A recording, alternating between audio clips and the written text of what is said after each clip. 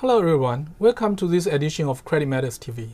I'm here today with Gloria Lu, our Director of Corporate Ratings, to discuss China's fast transition into the world's largest carbon market and the impact on the corporate creditworthiness. Hello Gloria. How does China react to control its carbon emission by developing its own carbon trading system?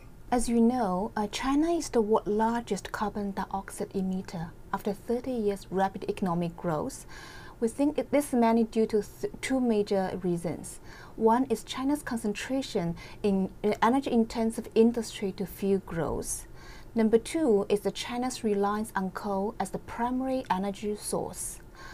Since June 2013, China has established uh, the carbon uh, emission trading system in seven regional markets as the pilot program, uh, many including four municipalities, Hubei province, Guangdong province, and Shenzhen city. This regional uh, ETS uh, markets share some common features. However, they're also different in, in, in the following uh, aspects. Number one is the type of the emission. Number two is the allocation methods of the allowance. Th uh, the third is the um, uh, different participants. And, and, and last is the, is the coverage scopes are different. Uh, we think one reason for this variety is because the different region has different levels of economic development and economic circumstances. Um, the Chinese government's goal is to establish a unified national carbon tra emission trading market with, within the next three years. We expect the upcoming 13th five-year uh, plan will outline more details of the implementation. So how have China's carbon emission trading systems performed so far? Uh, China's carbon emission trading market is it's just only one year old, although it's growing very fast. So the available trading data indicates different regional market has demonstrated uh, quite different uh, disparity in terms of the carbon price and price volatility. The participation of the cover corporates um, is quite inactive. Uh, the trading is mainly driven for the compliance purpose. And also, the market generally lack of transparency. Some derivative products, such as futures, are also very rare in the market so far. So over the long term, uh, we believe um, China's carbon market to become more transparent uh, and more products to, be offered and the participant to be more experienced.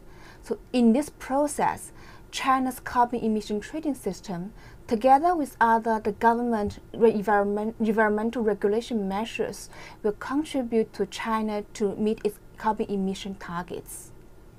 So what are the risks to the corporates that are covered by the uh, carbon emission trading systems? We think the ETS covered corporates uh, will face the following major risk.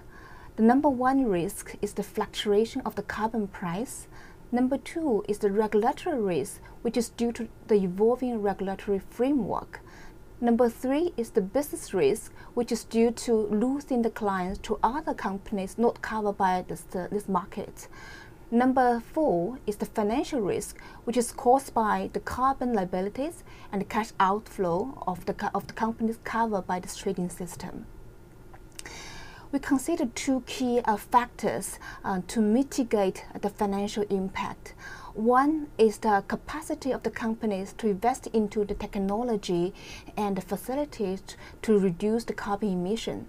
Number two um, is, the, uh, is the ability of the companies to pass through the carbon costs to the end, to the end clients. Uh, under the current market mechanism in China, uh, we observe very um, limited impact of the financial impact of the carbon emission trading um, uh, mechanism, uh, trading system on Chinese corporates so far.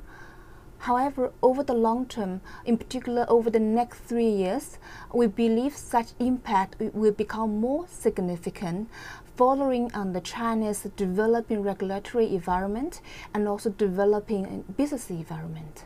Thank you, Gloria. Thanks for watching. See you next time.